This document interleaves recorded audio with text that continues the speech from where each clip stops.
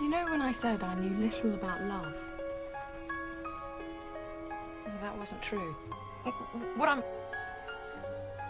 I'm trying to say is... I think I love you. My heart, it, feels like...